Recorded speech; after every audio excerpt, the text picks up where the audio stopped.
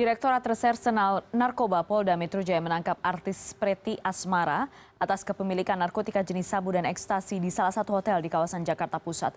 Pada konferensi pers yang digelar di Mapolda Metro Jaya Selasa siang, tersangka Preti Asmara dihadirkan dengan juga tersangka lain dan barang bukti hasil penangkapan. Menurut polisi, Preti ditangkap dengan sejumlah artis lain hari Minggu 16 Juli lalu. Saat ditangkap ditemukan barang bukti sabu dan ekstasi.